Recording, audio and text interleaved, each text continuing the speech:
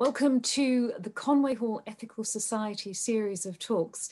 Uh, the Conway Hall Ethical Society is the oldest surviving free thought organisation in the world, and it is the only remaining ethical society left in the United Kingdom.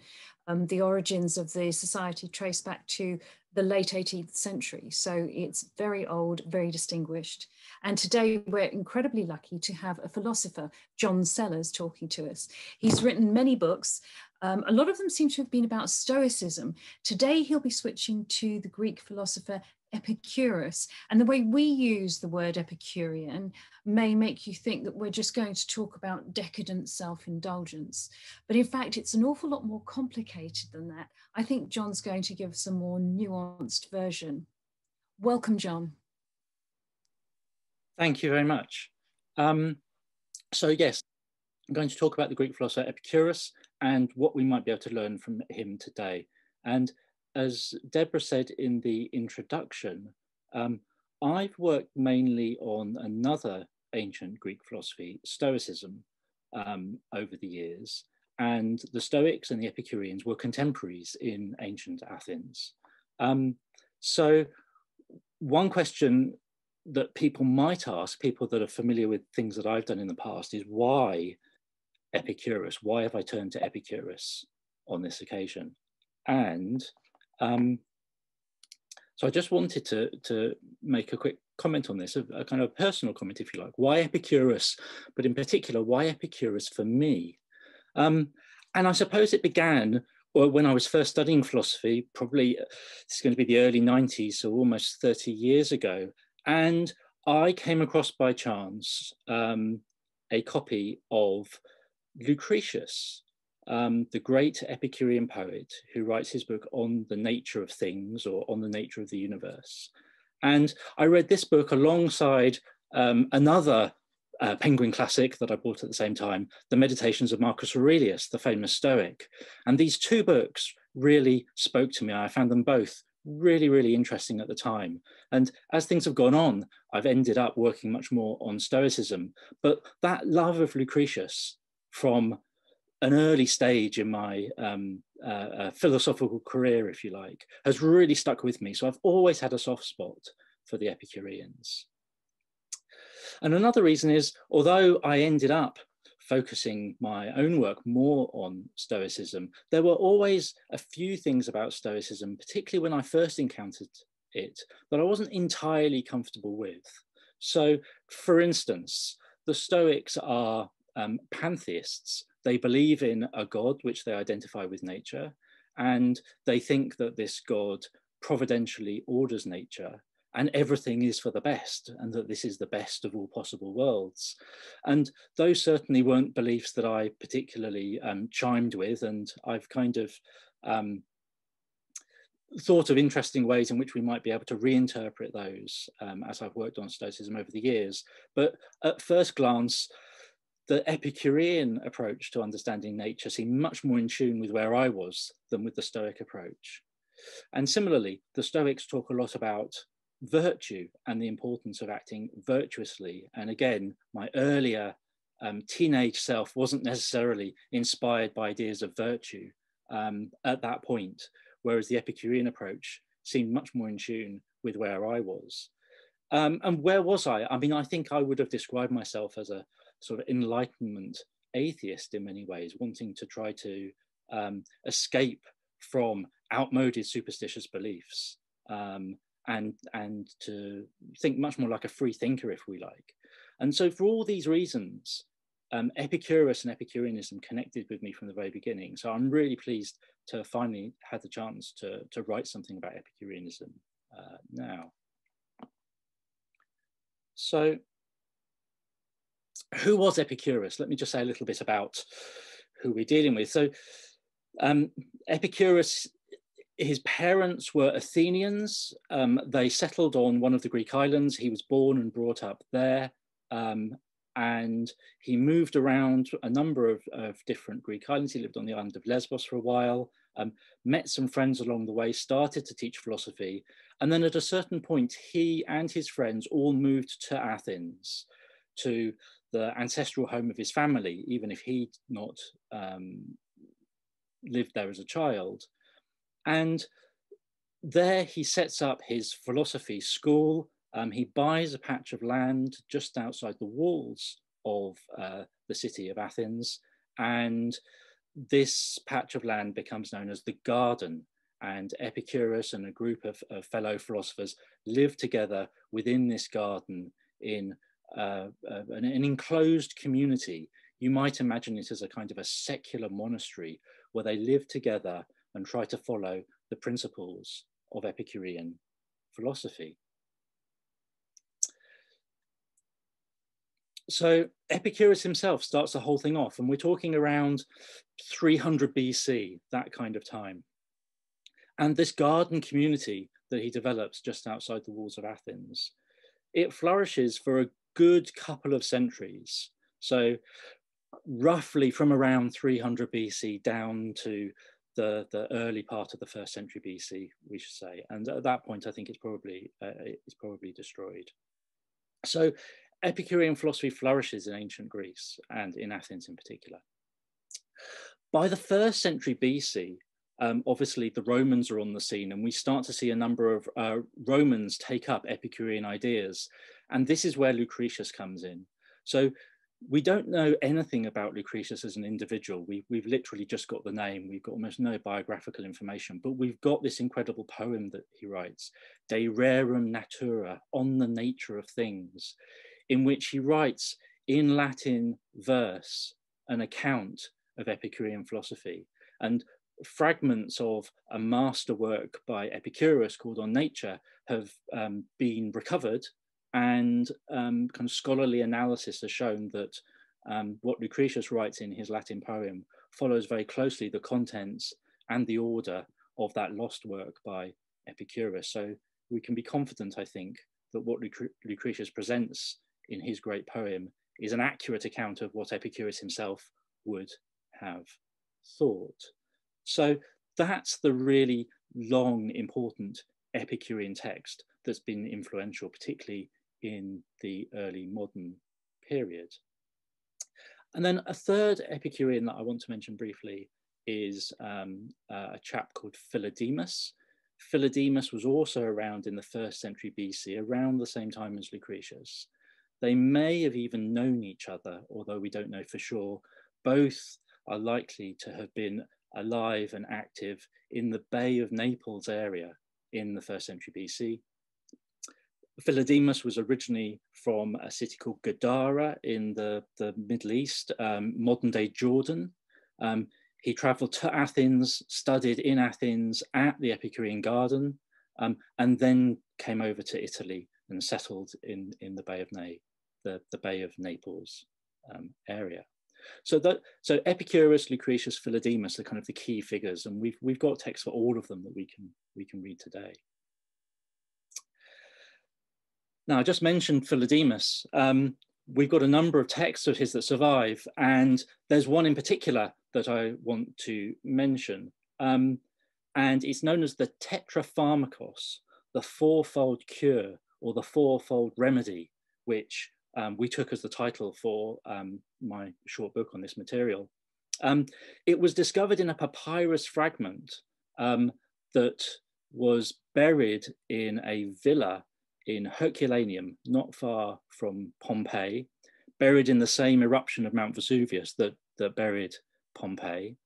And a number of papyrus scrolls were carbonized in that um, eruption and have been excavated and deciphered.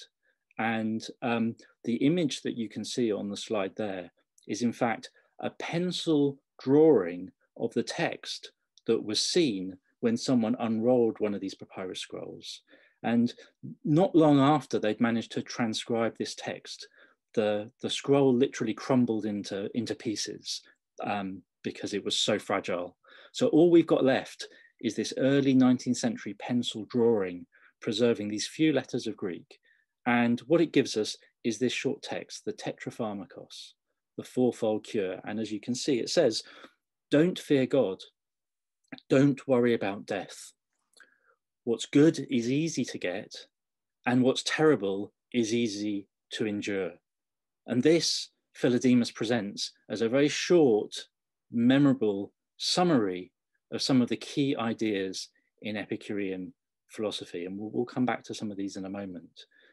Don't fear God. Don't be anxious about divine punishment. Don't worry about death. What you need in order to live a good life is very easy to get, and, and difficulties you can, you can cope with easily enough. And Epicurus thinks that these are some of the things that concern people most. These are the sorts of things that keep people awake at night. And so these are the sorts of things that we need some kind of remedy for if we want to live a good life. Um, you can see immediately that what he's talking about here are different forms of what we might call today psychological anxiety. It's different anxieties about things that might happen to us in the future that he seems to be most concerned about here.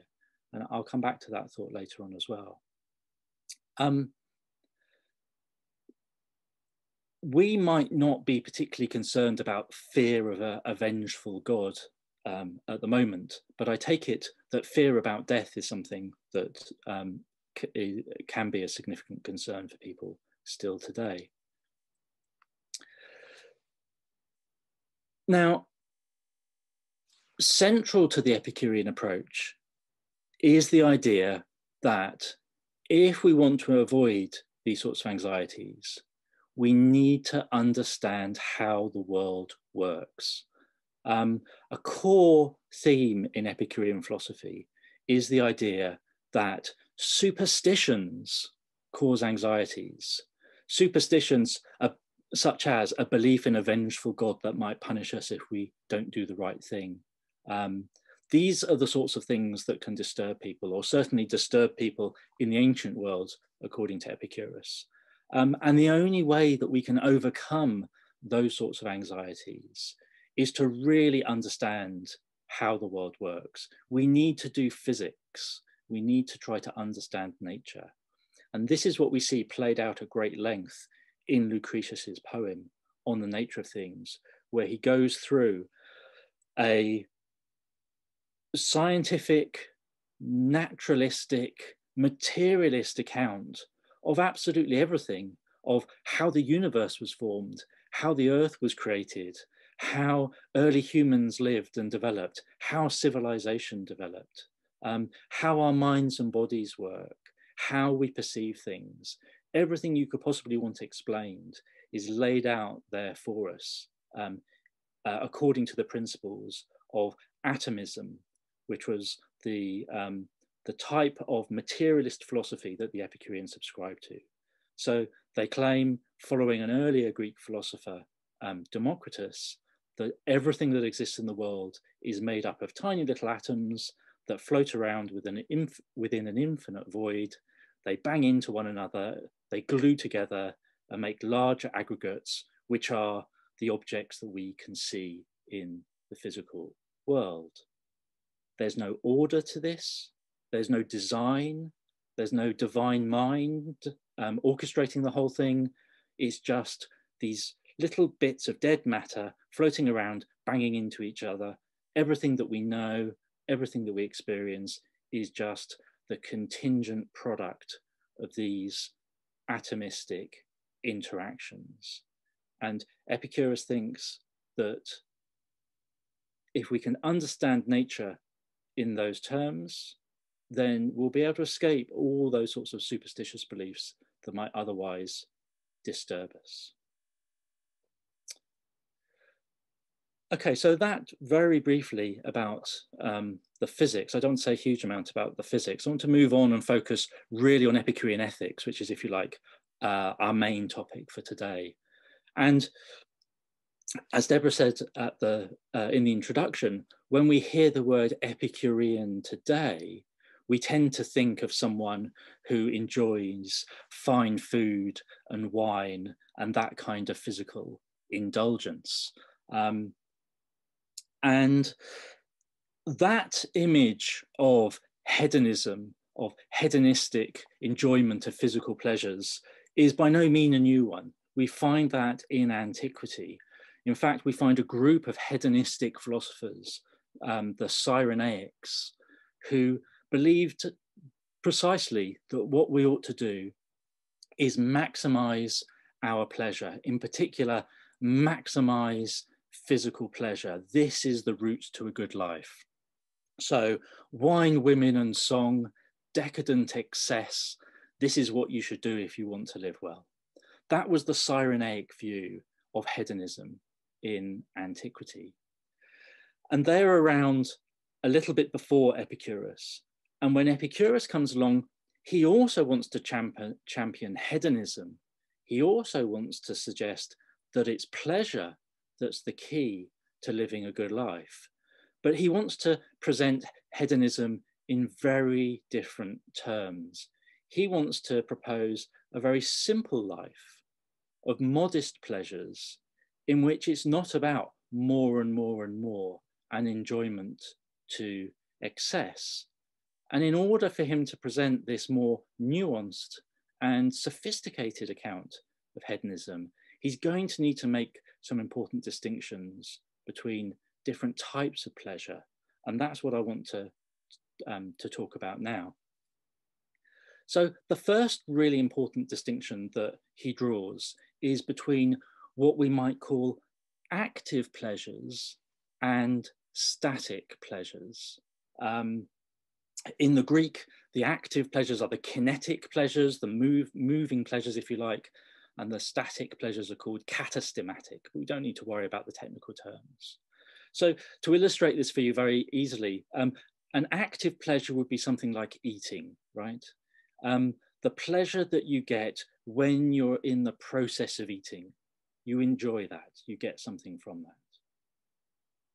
And that's what the, the Cyrenaic hedonists the, um, uh, uh, would have thought pleasure is, right? And if we think about that popular image of hedonism, we're thinking of active pleasure like eating or drinking. What Epicurus wants to say is that there's another type of pleasure, static pleasure, and an example of a static pleasure would be the contentment you feel when you've finished eating and you're no longer hungry. And Epicurus thinks that that's what we're really after. When we eat food, we might enjoy the process of eating food, but that's not why we're eating food. We're not eating it in order to enjoy the process, in order to enjoy the process. We're eating it in order not to be hungry. We're eating in order to reach that state of contentment when we've had enough. And when we've had enough, we won't need any more. So it's not as if you enjoy the process of eating and you just eat and eat and eat and eat and eat until you explode, right? Or it certainly ought not to be like that. You eat and you enjoy the process. You then reach this state of static pleasure when you're no longer hungry and you're content and you don't eat any more. And if you did eat more, rather than increase your pleasure, you would start to generate pain. You'd start to have indigestion. You would, it would be a counterproductive process. So the thought is that once you reach that state of not being hungry, more and more and more won't add anything extra to the quality of the pleasure that you're experiencing. And so there's a really important distinction at work here that's worth stressing, I think. Um, the first is that that active pleasure of eating is something quantitative, right? It can increase and increase. But the static pleasure, the contentment of not being hungry, that's a qualitative state. And once you've reached that qualitative state, you can't improve it or increase it by adding any more. And that's the type of pleasure that Epicurus thought we ought to aim at. A state of contentment in which you don't need any more. So that's the first really big distinction. And there's another quick um, footnote I should add to this as well, which is Epicurus thinks that pleasure is effectively, effectively the same as, or the, this, this state of, of static pleasure, I should say, is effectively the same as not being in pain. So not being hungry, it, we, we might take as an, an instance of not being in pain. Epicurus doesn't think that there's any kind of neutral state between pleasure or pain. If you're experiencing pleasure, you're not in pain. Simply not being in pain is itself an instance of pleasure. There's never a point in which you're not really feeling anything at all and you're just neutral. And so, again, the goal is not more and more pleasure, more and more food and drink. The goal is to not be in pain. That's really what we're all after. And so I hope you can see that in those two different ways, you end up with an image of a pleasant life that's very, very different from the, the modern notion of hedonism, in which you just have more and more and more pleasure um, um, without limit. There's a very clear limit here. Okay, so that's the first distinction that Epicurus wants to make in order to show how his version of a life of pleasure is quite different from the decadent um, hedonism of the, the Cyrenaics who were around um, uh, just before him. The second distinction he wants to make as well is between um, physical pleasures and what we might call psychological pleasures. So I've been talking about eating and not being hungry. Obviously, that's just um, um, um, a physical pleasure. And um, Epicurus wants to draw, I can um, draw a distinction between physical pleasures on the one hand and psychological pleasures on the other. And what he wants to suggest is that, in fact, the quality of our lives is determined by psychological pleasures much more than physical pleasures. And it's the psychological pleasures that really shape our lives. And so, picking up on the comment that I was making a moment ago about the goal really being to reach a state of not being in pain, not being in hungry. Similarly, when it comes to psychological pleasures, the goal is to reach a state of not being in psychological pain, to not be anxious, to not be worried. The goal ultimately is to reach a state of psychological contentment rather than enjoying active physical pleasures like more food, more drink. So that adds a, another, another way in which Epicurus's hedonism will differ from that Cyrenaic hedonism. The goal is psychological tranquility, a static psychological state of no longer being worried about anything at all. That's the goal of the Epicurean life. And in order to help us get to that goal, another thing that Epicurus does is he does an analysis of the sorts of things that we tend to pursue, the sorts of things that we desire. And he says that if we can stop and reflect and think about the things that we um, pursue in life, that will enable us to reach this state of psychological contentment or tranquility that he thinks is the key to living a good life. And so he says, whatever it is that you might pursue that you might think you need, um, it's going to fall into one of three categories. It's either going to be something that's natural and necessary, natural but unnecessary, or simply unnatural and unnecessary. So, what would be examples of these? Well, natural and necessary would be anything that you need in order to survive. So, food, water, shelter, these sorts of things, right? The basics of life. That's what you need in order to live. They're perfectly natural desires and we need them.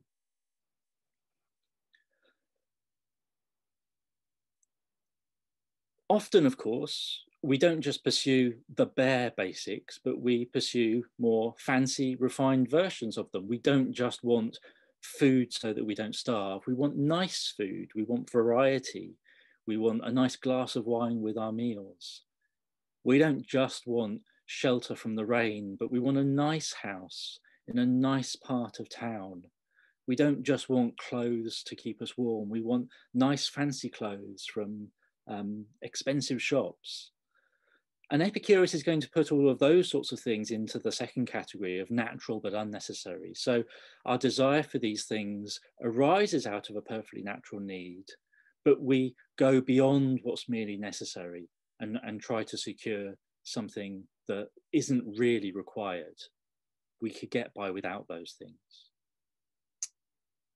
And then into the third category goes literally everything else all that stuff that doesn't actually satisfy a natural need that you have at all, all the other paraphernalia of modern life that we all um, often pursue.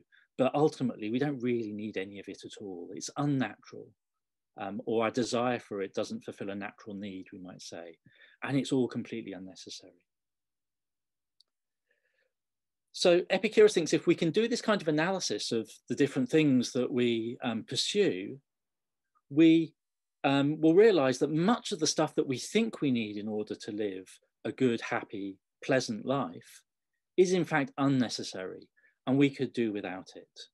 And Epicurus thinks that in fact, the stuff that we really need, the natural and necessary stuff, is surprisingly easy to secure. Um, you can you can survive on re a relatively small income, he would he would say, right? The, the basics aren't that expensive. And he thinks, and this is the key point, he thinks that if we can come to see that, if we can come to realize that what we really need is actually very little and very easy to get hold of, that's going to massively reduce our anxiety about the future.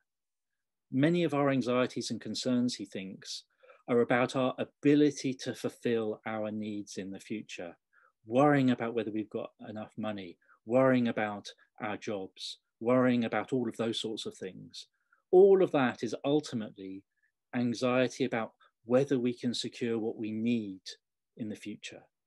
And if we can come to realize that what we need is actually very little and very easy to get hold of, then that will massively reduce that anxiety.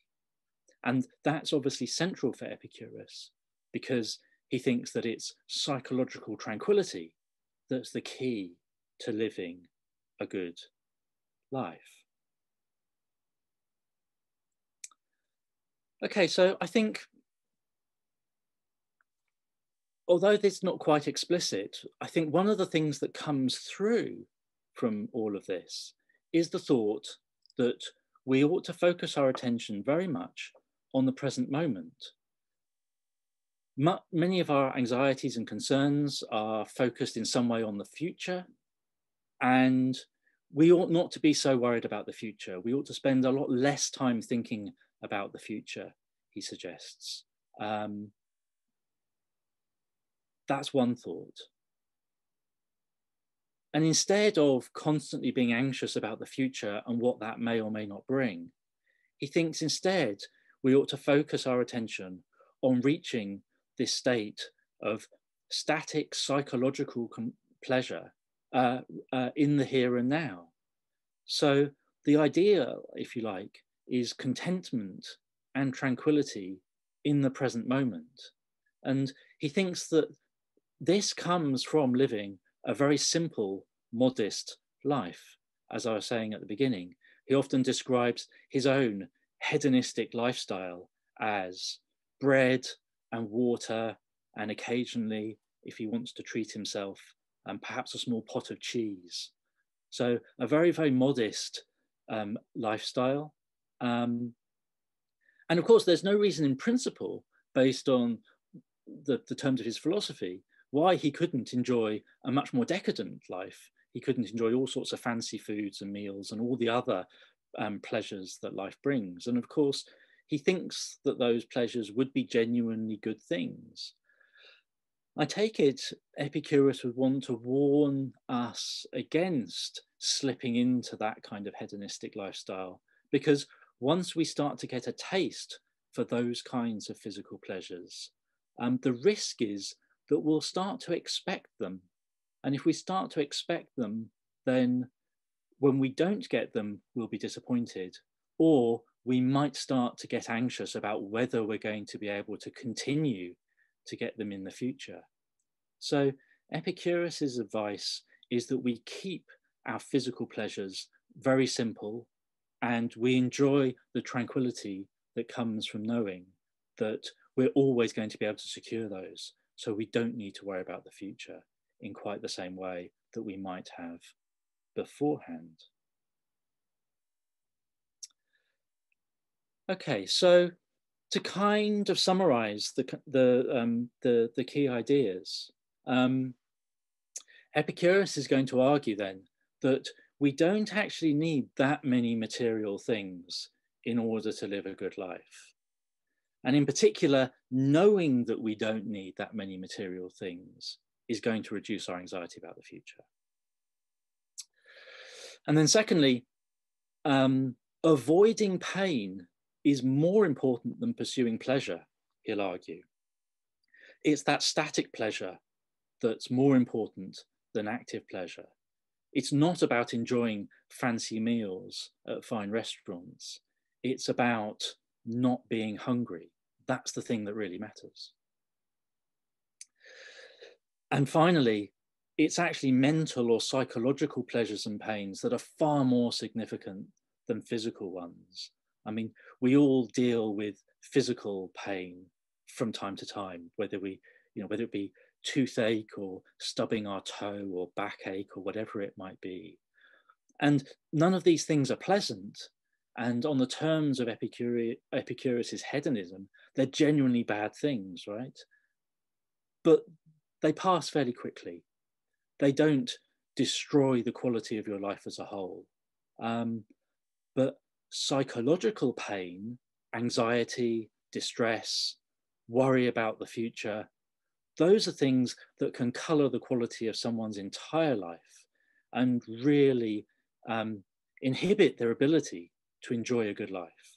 So focusing on those psychological pleasures and pains is far more important than worrying about um, the physical pleasures that we might associate with crude hedonism.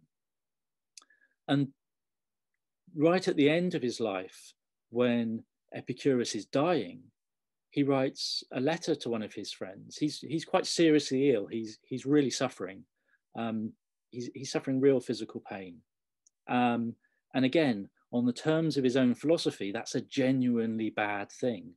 Um, pain is physical pain remains a genuinely bad thing. He, he'll he'll say.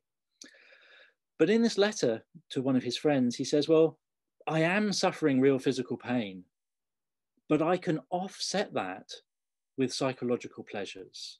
And in particular, as he writes to this old friend, he says, Well, I've got the memories of all of those wonderful conversations that we've had in the past. And by reflecting on all those wonderful conversations we've had, that gives me real pleasure. And that psychological pleasure can outweigh the physical pain that I'm having to deal with at the moment.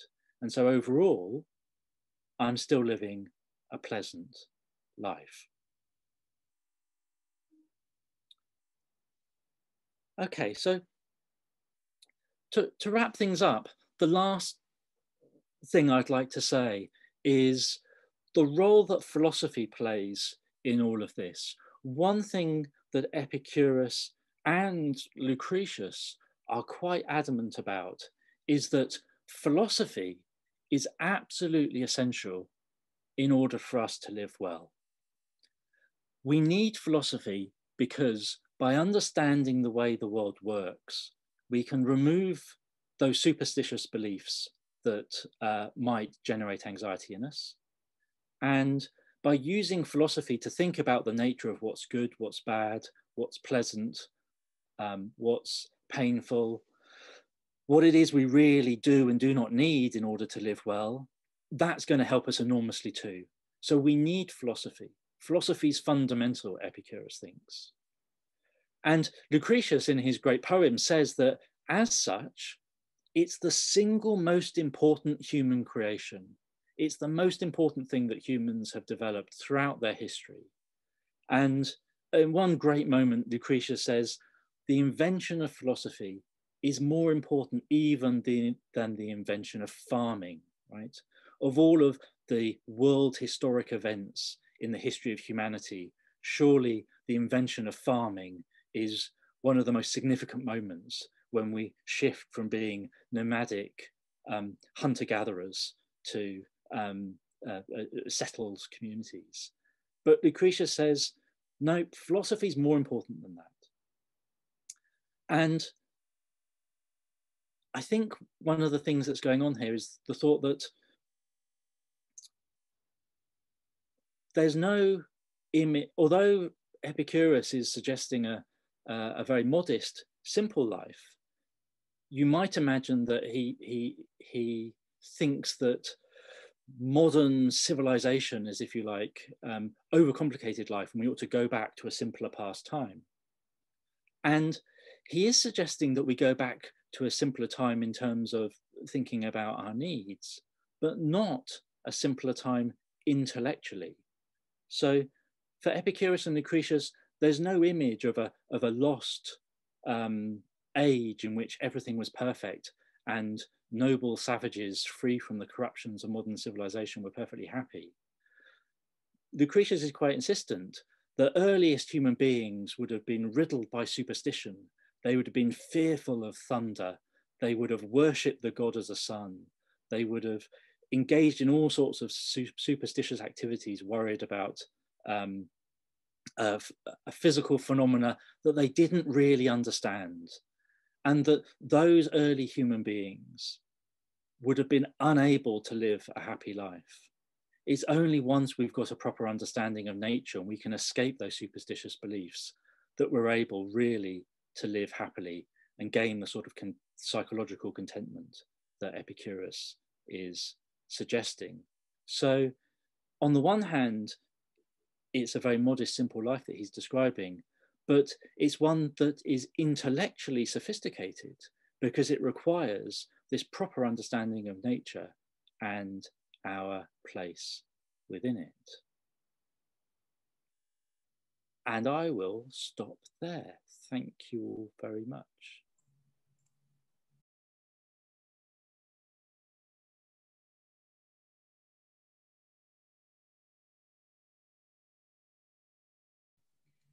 Thank you very much, John. That was absolutely fascinating. Bear in mind, John's book, The Fourfold Remedy, Epicurus and the Art of Happiness is available. So when you want to find out more from this talk, that's where you go.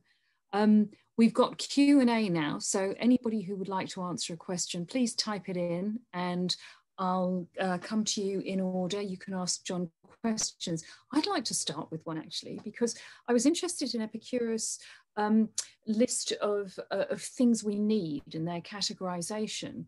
And it strikes me that uh, status is something that seems to be fairly hardwired into human beings, but it causes us a great deal of distress because we do get the desire for unnecessary and unnatural things. Um, designer clothes would be a good example. Nobody needs designer clothes. Uh, what would you have to say about dealing with the need for status?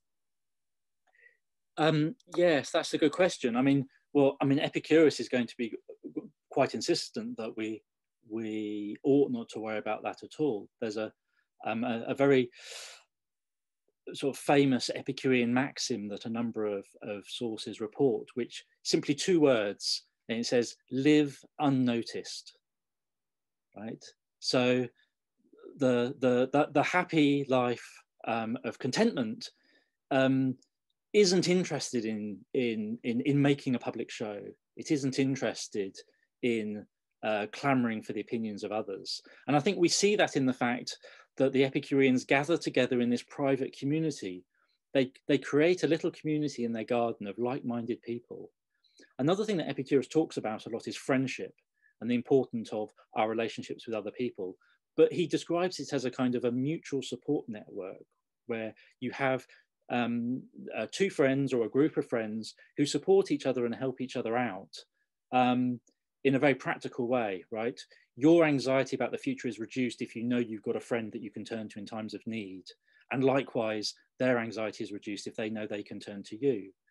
That's a very different type of social relationship to the one we might think of when we think about sort of our public reputation and our status, where we're just trying to impress other people, which is a very obviously a, a, um, a far more super, superficial relationship. So absolutely, we'd want to use that analysis to show that we ought, in fact not to worry about status at all. So live unnoticed, perhaps that's something that we should tell potential X Factor contestants their psychological well-being. Well, I think our first question is from Rona. Um, so let me take a look at Rona's, uh, there we go. Do you,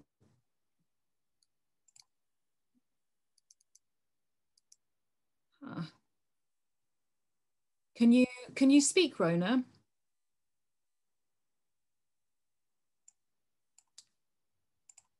Oh, there we go. Let me just find her. Um, it's, uh, uh, sorry, it's taking a while. Uh, Rona specifically asked if she could answer this question herself, so I don't want to just go over. It's a good question. I don't want to just um, speak over her. Here we go. I'm just about to allow you to talk, Rona, so unmute your microphone and ask John your question. Hello, can you hear me? Yes, we can. Hello? Hello, Rona. Hello, can you hear me? Yes. Hello?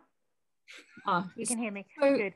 Okay. Mm -hmm. Um, I just want to say, um, yeah, uh, just just uh, uh, a sort of reference to the status, um, the status question that you asked.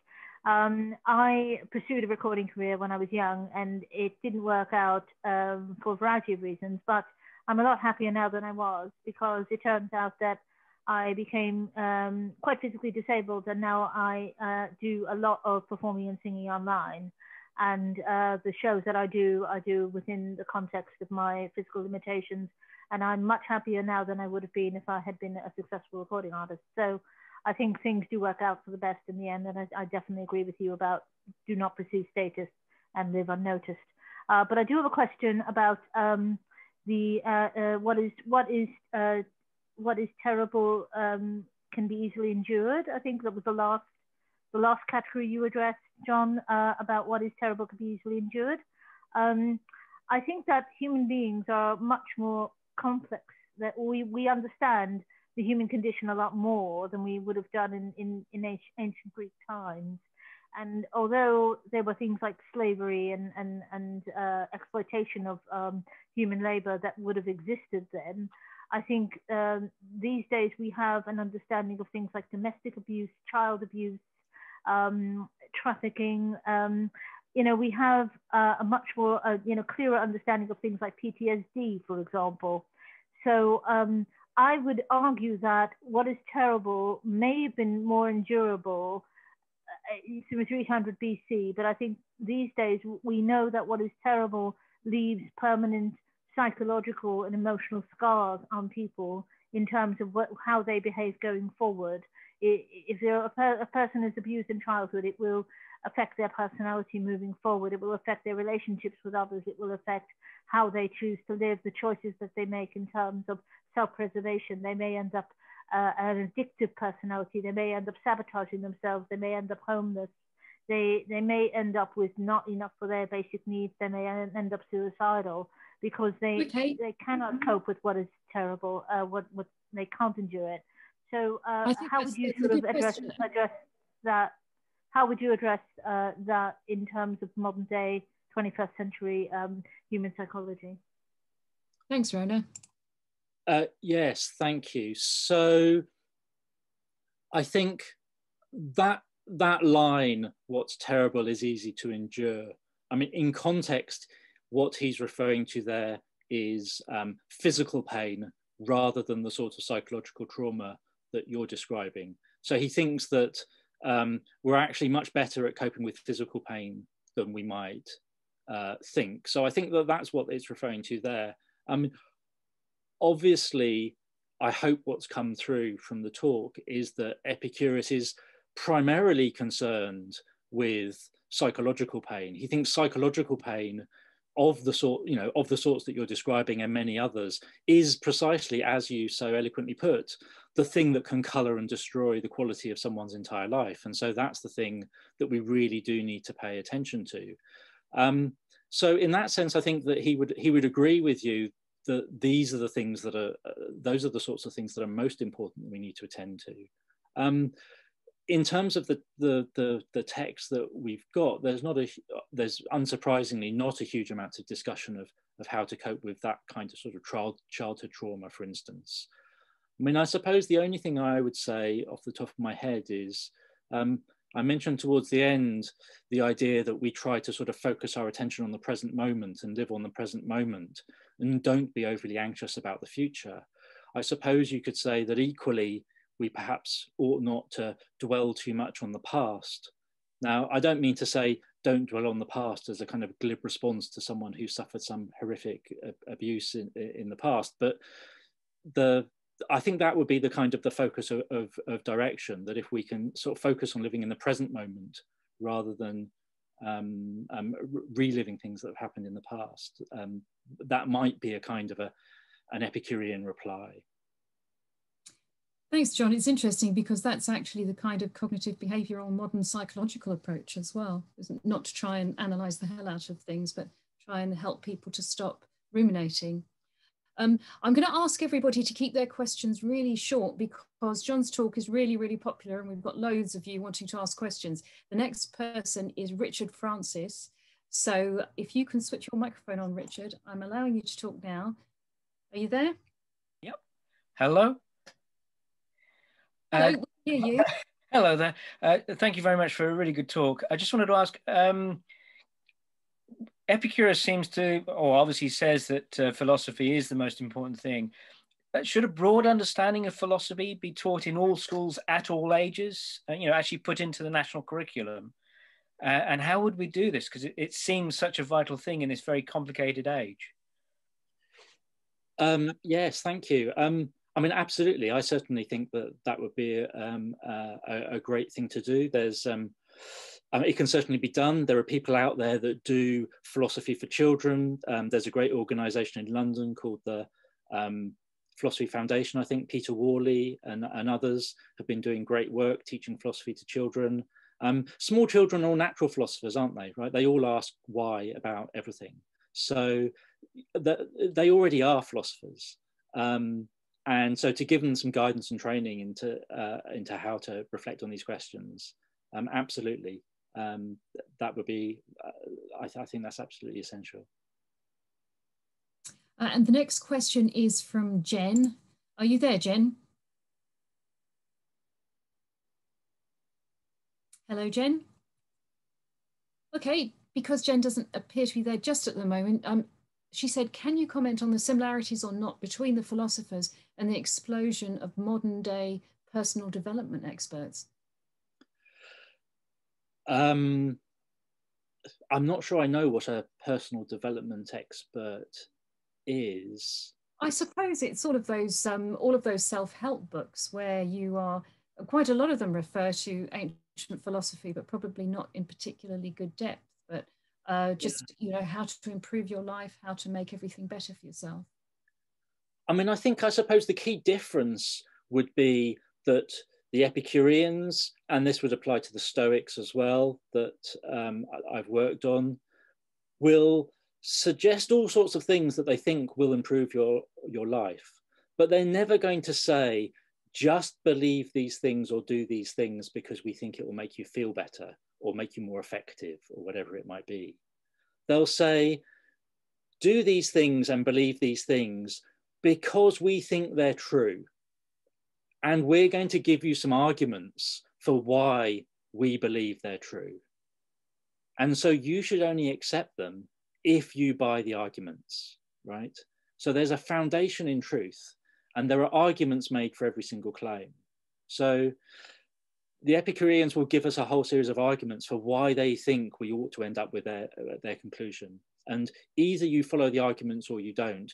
Whether, the, whether you think, I mean, sometimes people will say, oh, I don't like that particular philosophy because it doesn't look attractive to me. And it's like, well, who cares whether you think it looks attractive?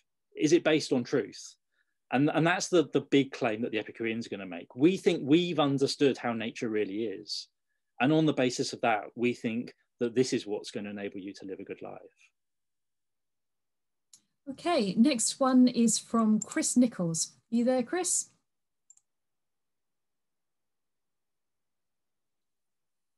Hello, Chris. Hello, Chris Nichols. I've unmuted you. Perhaps Chris has um, popped off to the shops. Uh, he said, thank you for a very interesting talk. Uh, Epicureanism sounds very Buddhist to me, living modestly, um, present moment awareness, that sort of thing. Um, do you have anything to say, John, about the similarity that he sees?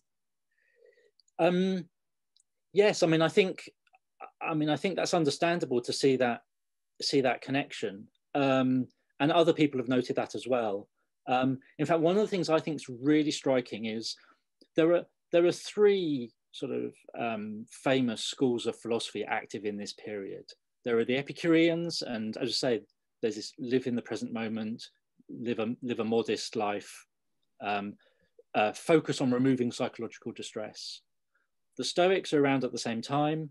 And again, people have often noticed similarities between the Stoics and the Buddhists. And then the third group of philosophers acting in this period were known as the Pyrrhonians, who are skeptics, who thought that the key to living a, a happy, tranquil life is to believe nothing at all, um, escape all belief. And the founder of Pyrrhonism, Pyrrho, actually traveled to India with Alexander the Great and is reported to have met various Indian wise men. And so there's a literature on how all three of the schools of philosophy that were active in Athens in this period have similarities or potential historical connections with Buddhism. Um, so, yeah, I mean, I, I, don't know what's going on there, and and obviously Buddhism is developing around the same time in India. So there is there are a whole range of parallels that are really quite striking. In the case of Pyrrhonism, uh, sorry, um, perhaps we underestimate how much the ancients were able to speak to each other possibly, I mean, as I say, there, there may have been some connection between Pyrrho and um, the Buddhists. Um, I don't think there's any line of influence between Epicurus and the Buddhists, or the Stoics for that matter. Um, a lot of Epicurus's ideas uh, are developed out of ideas that are already earlier in the Greek tradition, from Democritus in particular, who was also an atomist and also had lots of ideas about the importance of tranquility. And the Stoics are building on ideas from earlier Greek philosophers as well. So I think they're homegrown, but I think that there are a, a range of, of points of similarity for sure. Okay, next there's one from um, Laurie Hulker. Are you there, Laurie? Can we hear you, Laurie? You should unmute, apparently. I'm getting a Getting a warning there. Hello, Laurie. Okay, Laurie asked, is there an extent to which Epicureanism can be linked to an aesthetic lifestyle? Aesthetic lifestyle. Yes, I mean, I think so. I mean, I'm describing it, uh, describing a very modest life um, of um, uh, of um, fairly simple pleasures. Maybe not as it, it's, I mean, it's a tricky question. Maybe not ascetic in the sense of denying yourself pleasures, right? Because Epicurus certainly thinks that physical pleasure is something that's genuinely good. So you might not desire, um, you, you might not deny yourself all pleasures, but you might resist all sorts of pleasures where they might generate future pain for you in the future, right? So you would avoid excess because you wouldn't want to suffer you, um, um, um, physical pains that that might produce, right? You don't overeat because you don't want to have indigestion. You don't want to drink too much because you don't want the hangover. So you do what's often referred to as hedonistic calculus. You work out what the pleasure might be versus the anticipated pains in the future that it might generate. So you do that, but then there's also that point about psychological pain. So you don't want to indulge too much if that's going to make you um, feel anxious about whether you can continue to indulge at that level in the future. So perhaps the word I would use is modest rather than ascetic. Um, but, but even so, it's a striking contrast to our usual image of hedonism, which we think would be a life of excess. William Kavanagh is next. Are you there, William? Hello? You've been unmuted, William. Ah, William's left the room as well, which is a great shame because it's a very good question. It seems that Epicurus, Epicurus and his philosophy were almost entirely censored out of existence in late antiquity. And it's fortunate that some of his teachings survive only through Lucretius. Um, could you describe a little more of how this came about? William wants to know. Yeah, sure. So uh, it's a good question. Um, so in late antiquity, um, absolutely, Epicureanism sort of drifts off off the table a little bit. Um, Platonism dominates, and of course we have the rise of Christianity. And then in someone like Augustine, um, you get someone who brings together elements from Platonism and Christianity. And the materialist Epicureans preaching a life of pleasure is obviously anathema to that kind of worldview. Um, which often really is ascetic. Um, so Epicureanism really um, um, falls off the map in the Middle Ages. Um, in the early Renaissance, um, a, um, uh, a, a, a, cardinal in the Vatican, who's also a humanist and a book hunter, uh, finds a copy of Lucretius in a monastery in southern Germany and rescues it and sends it to his friends in Florence, who then feverishly copy it out, and the text starts to circulate. Um, as it happens, that manuscript that was found has since been lost. Um, and but there are two other early copies that we have. So basically, Lucretius survived the Middle Ages in just three copies, one of which is now gone. So there are just two copies from the ninth century that survive. Um, so as with the survival of much of, of classical literature, it's a story of horrible contingency where it's just by chance that things have survived. And then all the other texts, that, uh, many of the other texts that we got for Lucretius, that's, for Epicurus that survive, survive within another book. So a book by Diogenes Laertius called The Lives of the Philosophers, um, which has lots of information about lots of different Greek philosophers. And Diogenes Laertius was himself probably an Epicurean because the final book of his work, Book 10, which is the culmination, is devoted to Epicurus. And in that, he copies out in full three letters that Epicurus wrote. And those are our main sources of Epicurus's own philosophy that, that he copies out. So they survive kind of within this other work that's brought from Byzantium to Italy in the 15th century and then starts to circulate. And in again, the um, a monk in the 15th century uh, is about to tra- is uh, uh, translates Diogenes Laertius into Latin so that people can read it more widely. And when he gets to book 10 and he gets to the Epicurean bit, he's really quite hesitant of translating this into Latin because he thinks it's full of all of these dangerous, potentially heretical ideas that shouldn't go into public circulation although eventually he, he gives in and does it. Good. I'm glad that movement happened because there's an awful lot of grim stuff in Christianity, which did ultimately come from Plato, isn't it? It's sort of blighted a thousand years, really. Um, uh, so now we have Benedict Clark. Are you there? We're going to carry on having difficulties, or are you there, Benedict? Let us know if you're there. I think I will now leave. I am here. Can you hear me? Fantastic. Good. Can you ask oh, your? Wow. yeah, sure. So, uh, thanks for the talk. It was really interesting. Um, I'm interested, particularly in this idea that we don't actually need much, because it seems to me that that runs quite contradictory to the sort of narrative that we're told in the Western democracies, and really how you know the entire structure of those societies is built. So, I suppose I wonder do we really need to start reassessing how our economic models and work and how our structures, societies are structured if we want to allow contentment to flourish? Yeah, that's a that's a really good question, and uh, I mean, I think I think absolutely yes. Um, I mean, if you think about the the environmental problems that have been caused by runaway consumerism, um, I think you could you could tell a story in which you might say that this kind of suggestion that we focus on what's absolutely essential and we keep our our physical um, uh, our desires for physical things um, uh, in check is something that's going to be absolutely fundamental if we're going to reduce the levels of emissions and consumption that are currently doing so much damage to the environment. And obviously, as you rightly say, that's going to involve a, a, radical change to the way in which we tend to think. And our, you know, current governments uh, remain completely obsessed on growth, right? Growth and more consumption and more economic activity is always presented as the panacea for everything. But just from an environmental point of view, you know, that could be our destruction. I think Epicurus does offer a framework to um, to challenge that. Um, just as an aside, Karl Marx was a keen reader of Epicurus in his youth. Karl Marx's doctoral dissertation was written on Epicurean atomism, and he was originally drawn to Epicureanism precisely because it was materialist, right? And it was attacking superstition. And so that was very much in tune with where he was at that point.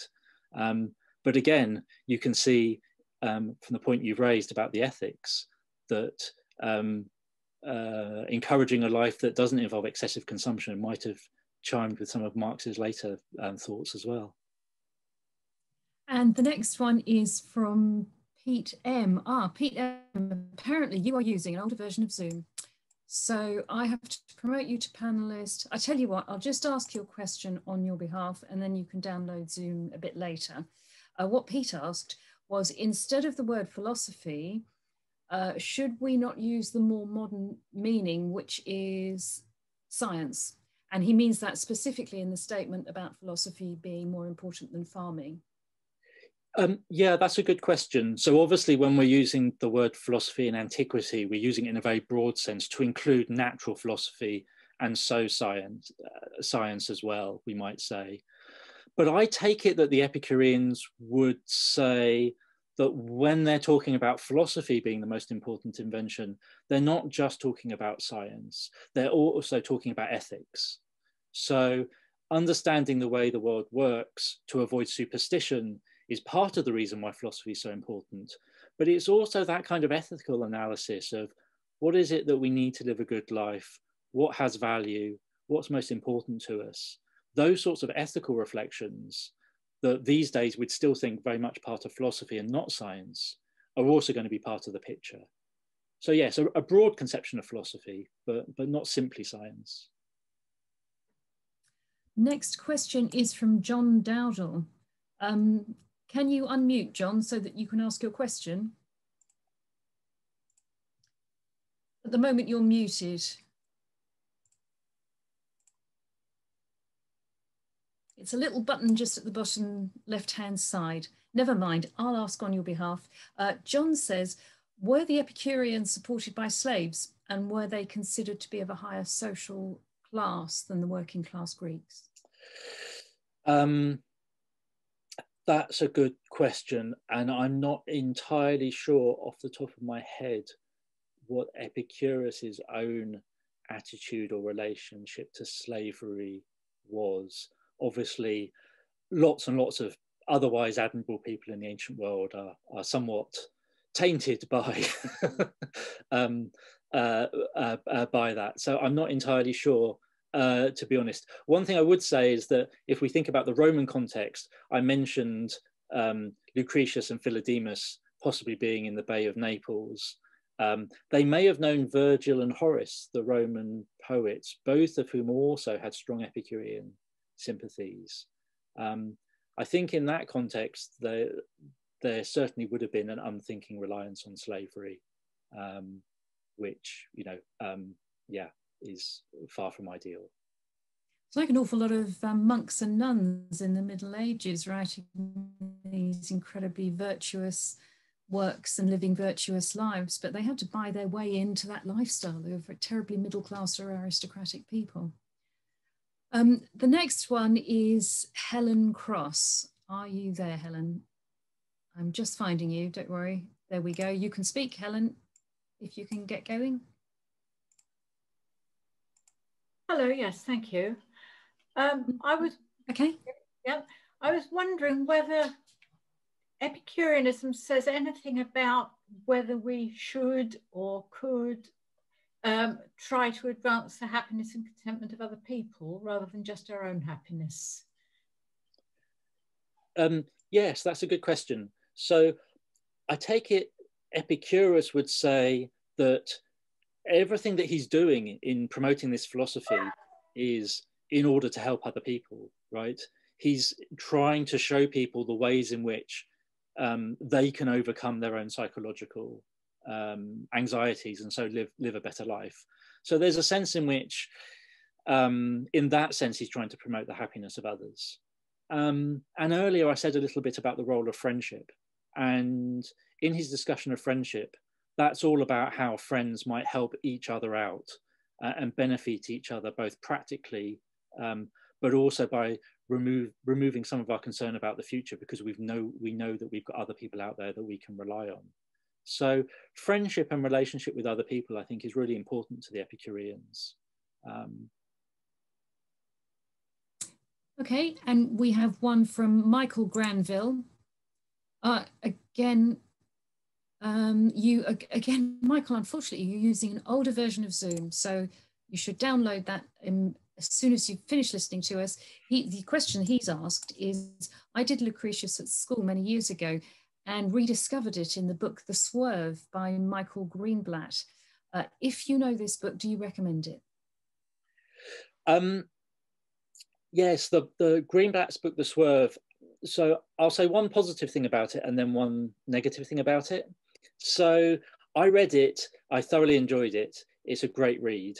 Um, and it tells the kind of detective story of how Lucretius's tech was discovered by that cardinal in the monastery in um, uh, uh, in the 15th century, and then how the how the, the, the text went from there. So it's a great read, and I love those sorts of stories about you know people hunting for books and finding them and uh, and so on.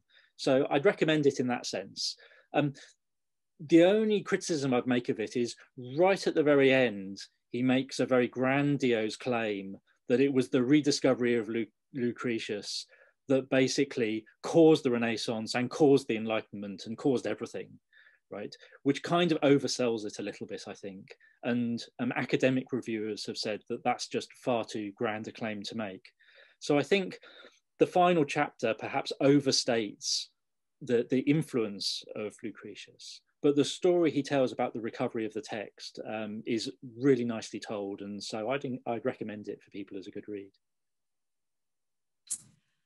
John, that's been an absolutely fascinating talk. Thank you ever so much. And uh, remember that uh, John's book is available. It goes into all of this in a great deal more detail. It is The Fourfold Remedy. So um, you can get that. Is that out now, John, or is it later in the year? No, that's out now. It came out at the beginning of the month. Fantastic. Okay. And before we all stop this session, I'd like to remind everybody that Conway Hall is suffering as much as everybody else is um, in these very peculiar times. And if you've managed to carry on working throughout this time and you've got a little bit of extra money in the bank, if you could make a donation to help us keep doing the work that we do, then that would be very, very much appreciated. Meanwhile, I would, the last thing I'd like to say is thank you ever so much to John for an absolutely fascinating talk. And thank you to the contributors for their questions as well. It really is good when you get the whole subject sort of more live when you, you get the, uh, the questions coming in. Thank you very much. Bye-bye. Thank you for having me.